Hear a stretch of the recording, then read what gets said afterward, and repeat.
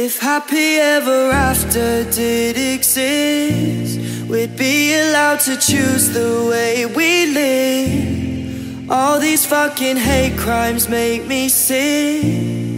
Nobody should need a therapist.